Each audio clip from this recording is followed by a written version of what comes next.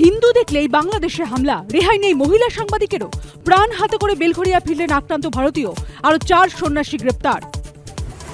হামলা গ্রেপ্তারির পরে ভারতে আসতেও ইসকনের সন্ন্যাসীদের বাংলাদেশে বাধা। দুদিনে তিরাশি জনকে আটকে দেওয়া হলো সীমান্তের ওপারে বেনাপোলে।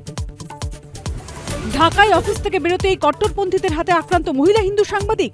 ঘিরে ধরে হেনস্থা কোনো মতে উদ্ধার। এই চরমভাবে মারধর করে। আমার আমার জীবন নেওয়ার চেষ্টা করেছিল তারা। বাংলাদেশে গিয়ে আক্রান্ত ভারতীয় হিন্দু পরিচয় পেতেই ছুরি দিয়ে মার ইট পাথর দিয়ে হামলা।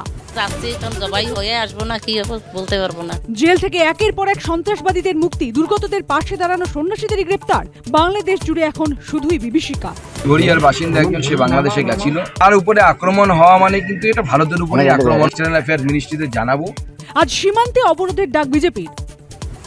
কট্টরপন্থীদের আক্রমণের মধ্যে ইউনুস সরকারের ধরপাকড় বাংলাদেশে আরও সন্ন্যাসী গ্রেপ্তার পটিয়ায় মন্দিরে হামলা কিশোরগঞ্জের সঙ্গেও তাণ্ডব ভয়ঙ্কর ভবিষ্যতের পথে বাংলাদেশ মানছেন খোদ ওপারের শিল্পীরাই নাটক বন্ধ করে দেওয়া হচ্ছে চলচ্চিত্র বন্ধ করে দেওয়া হবে এই রাষ্ট্রটাকে তারা বেসিক্যালি আফগানিস্তানে পরিণত করতে চায় বাংলাদেশ নিয়ে মোদীর সরকারের পদক্ষেপ দাবি সন্ত সমাজের ऐसी परिस्थितियों में भारत सरकार को मूक दर्शक नहीं बनना चाहिए भारत सरकार को कुछ करना चाहिए বাংলাদেশে নৈরাজ্যের আগুন প্রতিবাদে অসমে বিক্ষোভ।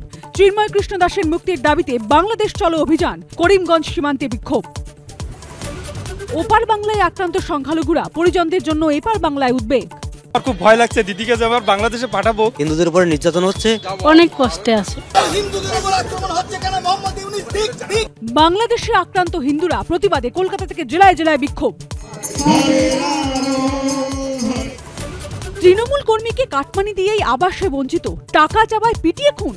এনআরএসএ মুর্শিদাবাদের বাসিন্দার মৃত্যু ঘিরে তোলপাড়। অভিযুক্ত গ্রেপ্তার। রায়দিঘিতে তৃণমূলকে হারিয়ে সমবায় দখল বাম বিজেপি জোটের। ফল ঘোষণা হতেই শাসক বিরোধী সংঘর্ষ। সমবায় ব্যাংকের ভোট ঘিরে অশান্তি, হুগলির শেওড়াফুলিতে বিক্ষোভ, অবরোধ। ভোট লুঠের অভিযোগ বিরোধীদের। মানতে নারাজ তৃণমূল। মত্ত অবস্থায় পথচারী শ্লীলতাহানির অভিযোগ। দমদম পার্কে গ্রেপ্তার শাসক নেতা। বিতর্কের জেরে মুখে কুলুপ স্থানীয় তৃণমূল নেতৃত্বের। জয় ভট্টাচার্যের পর আরও এক ভারতীয় বংশোদ্ভূতর উপর ভরসা ট্রাম্পের। এবার মার্কিন গোয়েন্দা সংস্থা এফবিআই এর শীর্ষ পদে কাশ্যপ প্যাটেলকে নিয়োগ করলেন হবু প্রেসিডেন্ট। বিশ্ব ক্রিকেটের মসনদে অমিত পুত্র জয়সা দায়িত্ব নিলেন আইসিসির প্রধান হিসাবে। নজির করে সবচেয়ে কম বয়সে এলেন আইসিসির প্রধান দায়িত্বে।